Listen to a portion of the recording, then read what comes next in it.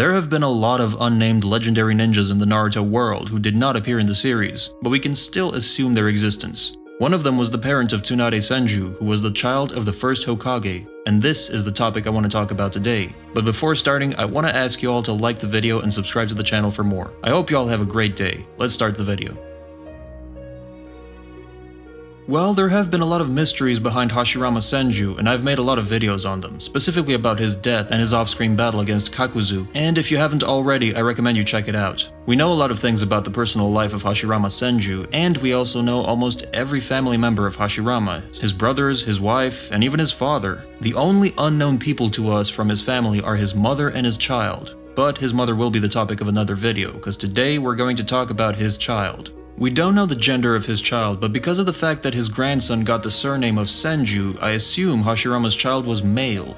So, who was Tsunade's father? Well, I always wanted to know more about the three legendary Sannin in general. The original manga does not really state anything about the parents of the Sannin, with the exception of Orochimaru, whose parents were confirmed to be dead.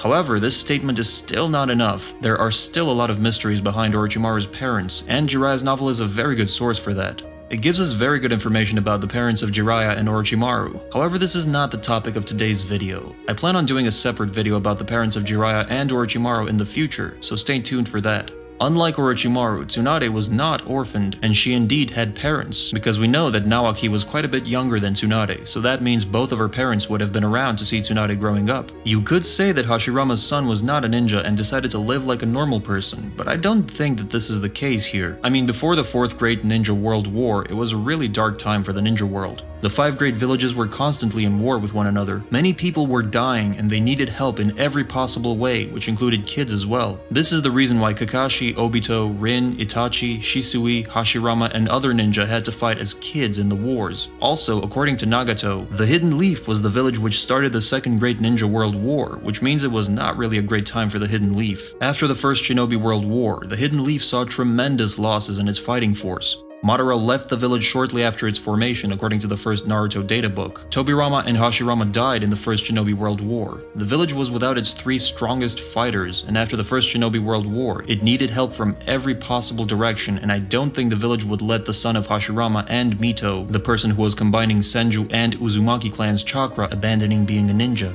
When you think about it, he had crazy potential. In truth, we have already seen someone like that, and that was Nagato Uzumaki. Many of you probably already know that Nagato was an Uzumaki clan member, but I don't think that most of you knew that he was a member of the Senju clan as well. The mixture of both Uzumaki and Senju clan chakras enabled him to use the Rinnegan at its fullest potential. Because of this mixture, Nagato had crazy amounts of chakra, and he was able to fight the whole Hidden Leaf village, then Sage Mode Naruto, followed by Eight-Tailed Kurama, and after that he still had enough chakra to revive the whole village whom he had previously defeated, and I think Hashirama's son would be the same case. I think he would be in a different league in terms of chakras and physical strength compared to his peers. He would have very big potential to inherit wood release Kekkei Genkai from his father, since we know that Kekkei Genkai are usually passed down through generations. His body would also be strong and compatible with that power, since he had the mixture of Senju and Uzumaki clans, two clans who probably have the strongest physical bodies besides the Otsutsuki clan. Since both of his parents were alive for a really long time, I think he would be trained by them. I assume that at some point he was even trained by Tobirama and Madara too, since I am sure both of them realized how much potential he really had and they did not want it to be wasted. So because of that, they were training him by themselves, similar to how Hiruzen was trained by both Hashirama and Tobirama. But in this case, Hashirama's son was taught by Madara too. I think it's not far-fetched to think that Tobirama could teach his nephew some of his signature abilities like the Flying Thunder God technique, Shadow Clone, and other forbidden techniques. I also think that he knew forbidden techniques of the Uzumaki clan, like Adamantine attacking chains, Heel Bite, and other sealing techniques like Reaper Death Seal, 8 Trigram Sealing Style, and Tori Seal. Based on all of these, we can see that he had extremely big potential, and is such a shame that we never saw him at any point in the series.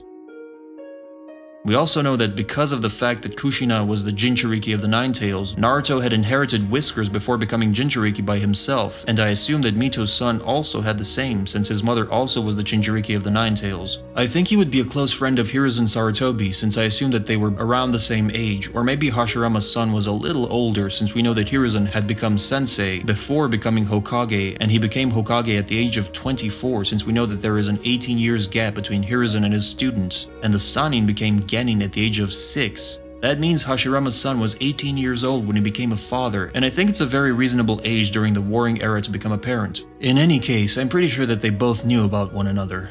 One of them was probably the biggest prodigy of his generation, and the second one was the son of the god of shinobi. I'm pretty sure that Hiruzen would have mad respect for him, because his uncle and father were his teachers, and according to the first Naruto data book, both of them sacrificed themselves for the village.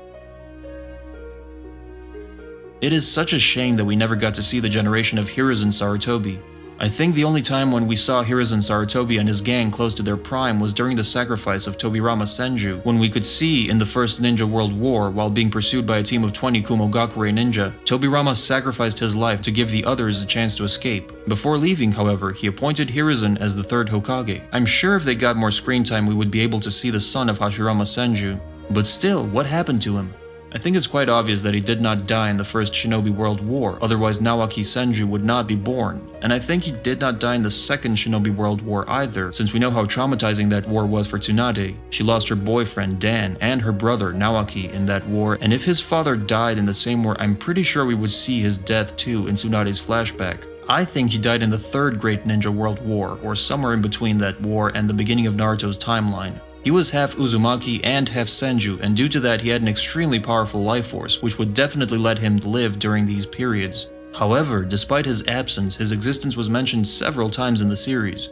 Firstly, his birth was mentioned by Hiruzen Sarutobi when he was telling Minato and Kushina that when Mito was given birth the seal nearly broke down which means that his birth was as difficult as Naruto's was. The second time when he was indirectly mentioned was during the final battle between Madara and Hashirama, when Hashirama told Madara that if anyone tried to disturb the harmony of the village, whether it would be his son, his family, or someone he considers his brother, he would not hesitate to eliminate them. In the end, in the Naruto verse, there have been a lot of unnamed ninjas who had crazy potential but unfortunately were never shown. However, there are still some hints that we can use to determine how strong they could be. Fortunately for us, thanks to the Jiraiya novel, which is 100% canon, we know much more about the parents of Jiraiya and Orochimaru, and I plan on doing a video about that topic as well. Let me know in the comments if you would like to see it. I guess this is all for today. Like this video and subscribe to the channel for more. Thanks for watching, Astrojack out. Bye guys.